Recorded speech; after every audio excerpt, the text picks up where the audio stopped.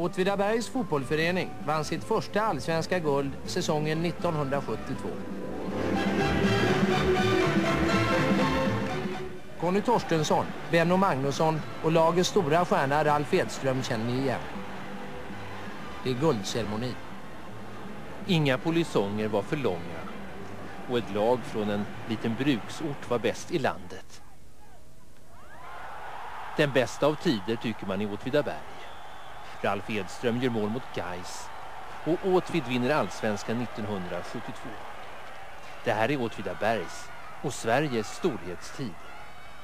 Men eh, krisen lurar runt hörnet. För storsponsorn Facits kontorsmaskiner har plötsligt blivit hopplöst omoderna och närmast omöjliga att sälja. Facitkrisen kom utåt sett mycket plötsligt. Stora framgångar och goda vinster vändes mycket snabbt i jätteförluster, direktörsbyten och avsked för en 17-1800 anställda det senaste året.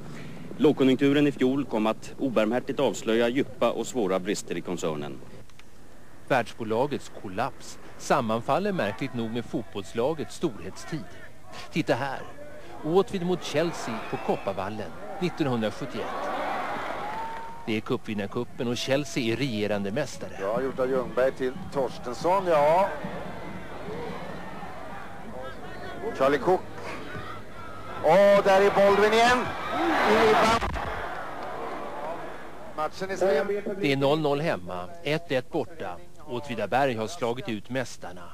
Vilken skräll! Genom att spela 0-0. Och sen 1975. Åtvidaberg möter Barcelona med självaste Johan Cruyff där till höger. Kvartsfinal i Europacupen. Ja, här är Bengt Grive på sändarledningen från eh, stadion, fotbollsstadion i Barcelona.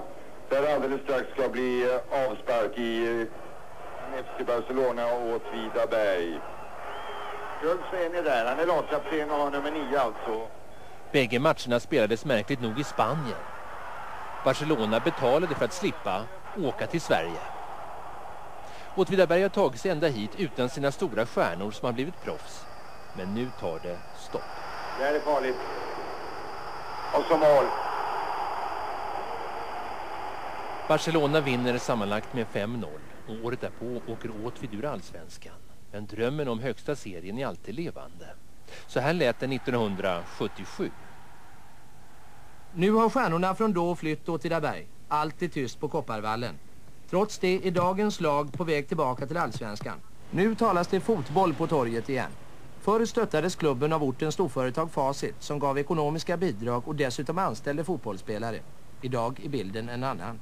Inför årets säsong gick cirka 100 företag samman och satsade mellan 3 och 5 000 kronor vardera på klubben. Allt som allt nära en halv miljon. Förr importerade Åtvidaberg färdiga fotbollsspelare. Idag producerar man dem. En sådan är den lovande målvakten Thomas Wernersson. Han har fått hela sin fotbollsuppfostran i Åtvidaberg. Jag har också känt om man går ut här i Åtvidaberg att folket bakom de stöder oss på ett helt annat sätt nu också. Va? Förut har det varit facit som har stöttat med pengar så men nu verkar det liksom som de säger att de vill att vi ska bli folkets lag och det verkar som det har blivit så på ett annat sätt också. Jag vet att man inom föreningen har förhoppningar om att vid en eh, allsvensk återkomst få ett ökat stöd ifrån er men det är alltså inte realistiskt. Kan alltid diskuteras naturligtvis. Ska vi diskutera det nu? Eh, den tiden, den sorgen. De är ju inte i allsvenskan än men jag tror med säkerhet att de kommer dit. Och då blir det mer pengar? Vi ska inte prata om det. Thank you.